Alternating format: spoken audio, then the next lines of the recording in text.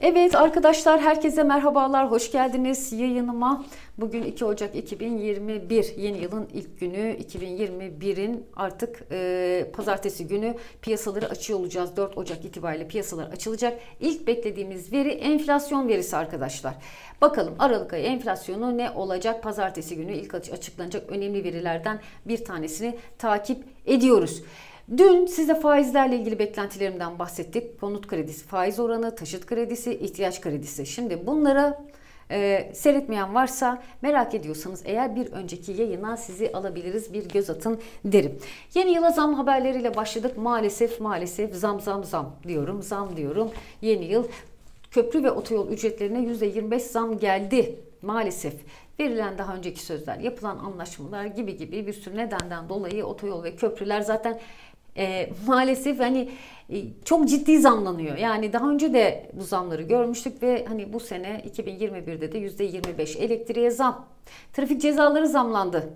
E, aman aman e, diyeyim ki varsa arabanız dikkat edin ceza yememeye çalışın arkadaşlar. Şimdi zamlar zamlar dedik. Tabii 2020 yılı çok kolay bir e, sene olmadı. İşte pandemi dönemi ve birçok işte bu e, ekonomik bir mücadele verdik. Para para para dedik. Neden? Sanki hani ekonomiler çok iyi, muhteşem, süper gidiyor da hep para konuştuk. Hep ekonomi konuştuk. 2021 yılında da bunları konuşmaya devam edeceğiz. Çünkü 2020'den kalma o enkaz diyelim e, tüm dünyada sadece burada değil tüm dünyada ciddi bir ekonomik sıkıntı, ekonomik enkaz var. Şimdi 2021 yılında bütün ülkeler biz bunu nasıl düzeltiriz, nasıl aşarız, neler yaparız işte buna bakıyor arkadaşlar. Dolayısıyla da hani bu kadar kolay olmayacak bu enkazın e, düzeltilmesi, kaldırılması. Piyasalar yeniden yapılanıyor. Peki biz neye bakıyoruz? Biz e, dolara, altına, gümüşe, borsalara şimdi onlara bakacağız. Arkadaşlar oradan bir başlayalım isterseniz. Şimdi son haber e, Amerika Trump her ne kadar veto ettiyse de e, orada e, savunma bütçesi yasalaştı. 2021'in ilk günlerinde Trump'ın veto ettiği savunma bütçesi bunun içerisinde Türkiye'ye yapılacak olan katsa yaptırımları da var. Artık bu yasalaştı ve ABD senatosu bunu onaylandı ve bitti. Şimdi Trump gitmeden önce bir sürü sıkıntı çıkarmaya çalışıyor. İşte bu teşvik paketiyle ilgili onu yapmayın, böyle verin, şunu yapın bilmem ne diyor. Ee, yani bu teşvik olayı Amerika'da hakikaten böyle yılan hikayesine dönmüş durumda. Bu da altını, altın onsunu çok fazla etkiliyor. Geliyoruz bakıyoruz altın onsu 1900'lere artık böyle dayanmış durumda. Bir türlü hani oradan bir böyle bir omuz e, bekliyor. Yani oradan bir böyle bir, bir şey bekliyor. O teşvik paketinden, teşvikten bir şey bekliyor. Bu teşviğin e, yani onaylanma süreci, bunun dağıtılması, Fed'in bu süre içerisinde para basması bunların hepsi altına yarayacak. Ancak bu o kadar kolay olmuyor. Dediğim gibi Trump koltuğu Biden'a teslim edene kadar yani teslim edinceye kadar böyle ayağı bir zorluyor. Bütün imkanlarını zorluyor. Sorun çıkarmaya çalışıyor ya da insanların gözünde kendisini e, daha e, iyi ben çok iyi bir başkanım mı dedirtmeye çalışıyor. E, bilmiyorum. Bilmiyorum. E, fakat altının onsu bu Amerika'daki teşviği bekliyor arkadaşlar. Şimdi gelelim bu teşvik neden önemli? Nasıl 2021 yılı ve nasıl altında dolarda ne bizi bekliyor? Şimdi dolar endeksine baktığımız zaman yani dünyada dolar artık dolar endeksi 90'ların altında seyrediyor. Bu şu demek aslında hani dolar bütün dünyada değer kaybediyor ve 2021 yılında arkadaşlar değer kaybetmeye devam edecek. Dünyadan bahsediyorum. Türkiye konumu çok farklı. Şu anda bizde düşüyor. Evet düştü belli bir yere geldi filan ama hani dünyada dolar değer kaybedecek arkadaşlar. Bunu bir kenara not edin. Sebebi şu. Amerika para basacak. Para basıyor zaten. FED bu teşvikle beraber e, daha da para salacak ortalığa. Hem ekonomiyi düzeltmek için hem insanlar çok zor durumda. E, ciddi bir işsizlik var. E, evlerinden atılacaklar. Yani bir şekilde ekonomiyi düzeltmek için para basması gerekiyor. Bu daha doğrusu para basıyor ve bu e, para basma işte devam edecek. Bu sadece Amerika'da değil aslında tüm dünyada e, Avrupa'da da e, ekonomileri düzeltmek için işte biliyorsunuz e, işsizlikte, istihdamda şu e, pandemi döneminde böyle yerlerde geziyor. Şu anda dolayısıyla da hani buraları bir düzeltmek için ülkeler e, maalesef e, yani bu para basma işini 2021'de devam ettirecekler. Para değersizleşiyor. Aslında bunun Türkçesi bu. Ben size biraz daha Türkçeleştireyim isterseniz. Para değersizleşiyor arkadaşlar. Tabii ki çok değerli ama çok bir şey çoğaldığı zaman o eski değeri olmaz. Nerede çokluk? Ondan sonra size bırakıyorum. Şimdi e, dolayısıyla hani bir şey çoğaldığı zaman onun da, orada bir e, ciddi bir değerlenme falan beklemeyin arkadaşlar. Şimdi bu dolara e, dolardaki bu e, ve piyasada dünyada paranın bu kadar çok olma, olacağı e, tabii ki şeylere yansıyacak. Yani altına yarayacak, gümüşe yarayacak ve bütün emtialara yarayacak aslında. Çünkü hani bunlar daha e, kısıtlı, e, arzı daha şey e, belli bir seviyede kısıtlı e, değerli materyaller olduğu için altının onsunda bir kere bu yükselişin devam edeceğini 2021 yılında daha doğrusu altının ve gümüşün önünün açık olduğunu söyleyebiliriz. Altın dediğim gibi 900 dolarlara dayanmış durumda ama bunun üstüne atması için Amerika'da bu teşvikle beraber paraların bir salınıyor olması lazım. Ondan sonra yönünü yukarı çevirecektir. Şimdi tabii Türkiye'deki altın gram altına geldiğimiz zaman arkadaşlar şimdi 453 TL şu anda aslında e, bizdeki gram altın biliyorsunuz tamamen içerideki dolar kurundan etki alıyor. Bizde de kur şu anda 7.43'lerde bir 7.30'lara geldi sonra bir tepki yükselişi şu anda bu 7.43 bu yukarı devam edeceği anlamına gelmiyor. Orada yine biraz daha düşüşler.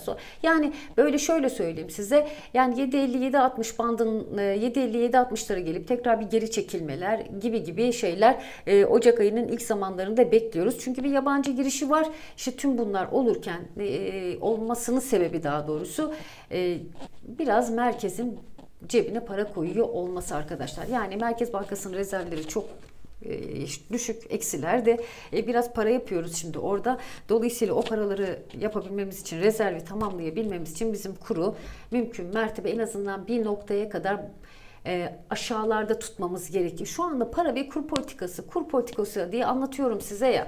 Öyle diyorlar, öyle anlatılıyor. Bunun sebebi bu. Derdimiz aslında e, Merkez Bankası'nın rezervlerini doldurmak. Bunun için dolar kurunu aşağıda tutuyoruz. Bakın tüm dünya para basıyor. Ee, insanlara para dağıtıyor, kredi genişlemesi içerisinde ve paralarının aslında değersizleşmesini göze almış durumdalar. Ee, bunun sebebi ekonomileri ya da insanları işte bir, bir, bir destek verebilmek. Yani paraların ders olmasını göze alarak bunu yapıyorlar. Faizler eksilerde.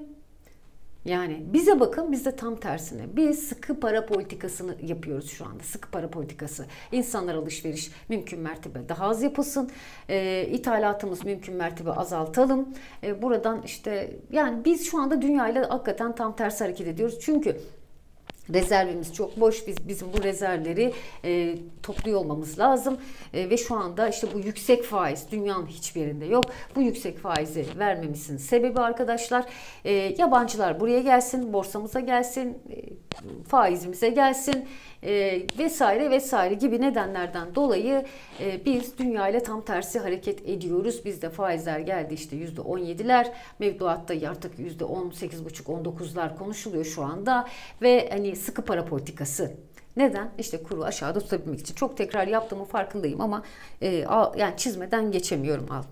Dolayısıyla burada gram altın 453 TL'de gram altın dolar kurundan e, etkilendiği için aşağılarda seyrediyor. Ama bunlar dip seviyeler. Yani e, altında hani alımsa eğer bence bu rakamlar alım seviyesine uygun diye düşünüyorum. E, bizim içerideki e, altında. Çünkü geldi geldi 540'lardan 450'lere gelmiş. Daha ne olsun yani. Bunlar bence alım için iyi ama uzun vade beklemek için. Yani uzun vade hani bir ay sonra bozmayı düşünmeyin. Yani en azından bir sene bekleyin ya. Hadi belki 6 ay bekleyin yani. Hani e, zarar olmaz diye düşünüyorum ben buradan.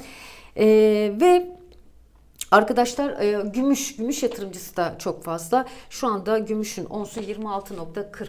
E, gümüş altından e, dünyada da böyle altından biraz daha hızlı ilerliyor ve düştüğü zaman da hızlı düşüyor. Fakat altının dünyada hani altının onsunda bir yükseliş beklediğimiz için gümüşte de bir e, yukarı yönlü hareket var. Gümüş de altınla paralel bir şekilde hatta altından bir miktar daha fazla kazandırabilir 2021 yılında. İşte bunun sebebi tekrar altını çiziyorum. Lütfen kızmayı tekrar olabilir. Bunu tekrar çiziyorum. Dünyada e, para bolluğunun olduğu bir dönemde paralar e, değer kaybederken değerli metallerin fiyatlarının e, yükseliyor olması lazım. E, dolayısıyla burada bir yükseliş bekleniyor. Kripto paralar, kripto paralara gidilecek olursak orası enteresan. Yani dünyadaki bu para bolluğu bir borsalara gidiyor arkadaşlar. Ee, ve diğer taraftan kripto diye bir şey vardı zaten çıkarmışlardı. Başımıza işte bitcoin diye bir şey çıkmıştı zaten e, uzun yıllar önce ama hiçbir şey olamamıştı. Ama şu anda para bolluğundan dolayı e, sermayesini güçlendirmek isteyen, sermayesini parasını arttırmak isteyen o büyük sermaye grupları parayı nereye götürürlerse orayı arttırıyorlar. Yani Bitcoin'de de artık 28 bin dolarlar hani 30 binlere doğru giden e, bir kripto para var e, Bitcoin de var daha doğrusu öyle diyoruz. Ama hani bu seviyeler gerçekten hani burada ben fazla spekülasyon olduğunu düşünüyorum. Hani bir gün e, diyorlar ki işte Bitcoin bir gecede 100 bin dolar olabilir ama bir gecede sıfıra da inebilir. Yani bir altın gibi değil. Tamamen dünyada kabul görmüş bir yasaya bağlı arkasında duran hiçbir şey yok. Yani şu an daha yeni yeni yapılanıyor. Dolayısıyla hani bilmiyorsanız bu işlere hiç girmenizi açıkçası ben e, çok fazla tavsiye etmem ya da bir yatırım uzmanıyla hareket etmeniz lazım. Fakat önümüzdeki dönem kesinlikle bu kripto e, paraların hayatımızda daha fazla göreceğiz arkadaşlar onu söyleyeyim. Hayatımızda olacak bu kripto paralar. Bitcoin mi olur başka bir şey mi olur bilemem ama bunun önü açıldı. E, para da bu kadar dünyada bolken neden e, nereden para kazanacak? Bir, borsalardan kazanacak. Borsalar zaten çok aslında şişmiş durumda ama hala para basılıyor. Dolayısıyla hani borsalardan para kazanılmaya devam edecek ve kripto paralara gidiyor. Bakın mesela altının aslında şu kripto e, altının özellikle onsun e, o 1900 dolarların belki biraz üzerinde olabilirdi burada ama e, yatırımcılar bence altın yatırımcı hani altına giden paranın bir kısmı kriptoya gidiyor. Bitcoin'e gidiyor veya diğer, diğer altcoin'lere gidiyor diye düşünüyorum ben açıkçası. Tabi bu bahsettiğimiz e, senaryolar, bu bahsettiğim e, her şey daha doğrusu sizle ya da ben de tek başına bizim yapacağımız bir şey değil. Dünya düzeninden bahsediyorum. Yani dünya düzeni, dünyada ekonomi, para nereye gidiyor? Çünkü şunu soracaksınız. E, ya bu kadar para basılıyor da niye bizim cebimize girmiyor? Neden bizim cebimizde para yok? Öyle değil mi? Yani e, biz hani e, ülke olarak baktığımız zaman size şimdi borçlanma hikayesini de vereceğim mesela. Dünyada arkadaşlar 2020 yılında Dünyanın en zengin 500 kişisinin serveti sadece bu pandemi döneminde 1.8 trilyon dolar artmış durumda arkadaşlar. Yani son 10 yıla baktığınız zaman en hızlı artışın olduğu sene bu sene olmuş. Yani büyük sermaye daha büyük kazanıyor. Yani para daha çok büyük para kazanıyor. O bol paralar, o basılan paralar nereye gidiyor? E işte buralarda. Yani zenginin cebine gidiyor açıkçası. Büyük sermayenin cebine gidiyor. Bize de borç olarak geliyor bakın. Bize de borç olarak geliyor. E, şöyle e, Şimdi dünya eğer size bir, bir yani dev, e, ülkeniz e, veya işte o basılan paralardan bir şey hibe edilmiyorsa borç veriliyor anlamına geliyor. Öyle değil mi? Yani e, Dolayısıyla da mesela şöyle bir örnek verelim. Bu sene e, biz yaz dönemi bir kredi genişlemesi yaşadık. Düşük faizli bir dönem geçirdik. Ne oldu? Böyle bir şeye saldırdık. Yani herkes e, gitti kredi kullandı, ev aldı, araba aldı, ihtiyaç kredisi bilmem ne. Size hatta rakam da vereyim. E, son bir yıl içerisinde bankaya borcumuz yüzde 41 artmış durumda arkadaşlar. Yüzde 41 arttı bankaya borcumuz. 2020 yılında e, en fazla ihtiyaç kredisi kullanmışız. Yüzde 49 artış var. İhtiyaç kredisinde 385 milyar TL'lik bir ihtiyaç e, kredisi borcumuz var 2020 yılında. Ve geliyoruz konut kredisinde. Konut kredisinde de yüzde 40 artış var geçtiğimiz bir yıl içerisinde 278 milyar e, TL'lik bir konut kredisi e, kullanılmış durumda. Artış var daha doğrusu öyle söyleyelim. Şimdi e, en düşük %64 rakam olarak aslında çok yüksek %64 bir artış e, taşıt kredilerinde var. 11,5 11.5 milyar TL'lik bir kredi kullanılmış durumda arkadaşlar. Bunlar yani ülke olarak banka kredilerine borcumuz %41 artmış maalesef. İşte o kredi genişlemesi, düşük faiz, insanların ihtiyaçları maalesef işte borcumuzu arttırmış durumda. Şimdi bizi aslında çok enteresan dünyayı da bizi de bekleyen iki farklı tehlike var. Diğer çünkü şöyle insanlara, bireylere baktığımız zaman e, borçlanan bir e, bireysel yapı görüyoruz. Yani borçlanan e, şirket bazında e, bireysel bazda özellikle çok büyük bir borçlanma var. Tüm dünyada var, ülkemizde de var. İşte gördüğünüz gibi %41 borcumuz artmış bankalara. Bu iyi mi? Dünyanın da bu kadar paranın gezdiği bir ortamda size de böyle ucuzdan böyle krediler verse herkes gider alır. Peki bunları nasıl ödeyeceğiz? Şimdi 2021 yılı biraz böyle 6 ay, 1 yıl ötemeli almıştık birçok krediyi. Biz onları bu sene ödemeye başlayacağız. Ee, Burada hani bu, bunu takip ediyor olacağız. Yani bunu takip ediyor olacağız. Çünkü borç yükümüz biraz fazla. E, dolayısıyla zenginin daha zengin olduğu, çok affedersiniz, zenginin daha fazla zengin olduğu, insanların borçlandığı bir 2021 yılına girmiş durumdayız. Buradaki en büyük tehlikelerden bir tanesi toplumsal e, riskler hem dünyada e, Türkiye'de toplumsal riskleri biraz artık konuşuyor olmamız gerekiyor. Çünkü bizim 2021 yılında artık şu saatten sonra çalışmaya ihtiyacımız var, üretmeye ihtiyacımız var ama bize sunulan ya da işte böyle bir ortam var mı? Hayır, yok. Hayır yok. Dolayısıyla hani böyle bir e, e, tehlike var aslında önümüzde. Bunu da oturup düşünmemiz lazım arkadaşlar. Ve tabii ki e, bu sene e, yani insanlara çok şey yapamıyorum. Ne konuştuk 2020'de? Ekonomi dedik, para dedik, para dedik, para dedik. Neden? Çünkü cebimizdeki 3 kuruş parayı nasıl artıracağız? Arttırmamız lazım. Bir şekilde her şeyin fiyatı yükseldi. Yani emtiaların fiyatı yükselirken e, dışarıda malların da fiyatı yükseliyor. İşte taşıt e, otomobil para fiyatlarından, beyaz eşyadan ya bir süpürgeden yani hani bir peynirden, domatesten aklınıza gelecek her şey neyin fiyatı düştü? Hiçbir şeyin fiyatı düşmedi. Çok hızlı bir şekilde artıyor arkadaşlar. Şimdi bizim de cebimizde 3 kuruş paramız varsa bu parayı korumaya çalışıyoruz. Tek yapmaya çalıştığımız bu. Bu nedenle 2020'de çok konuştuk ee, çok borsaya giren oldu. Altını konuştuk, doları konuştuk ve konuşmaya devam edeceğiz arkadaşlar. Konuşmaya devam edeceğiz.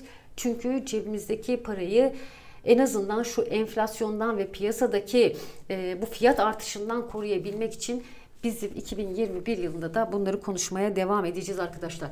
Biraz e, yani bizim 2021 şöyle söyleyelim bu sene konuşacağımız şeyleri biraz hem size sıralamış oldum neleri konuşacağımızı hem de nasıl bir sene bekliyor, önümüzdeki dönem neler var e, bunları söylemeye çalıştım.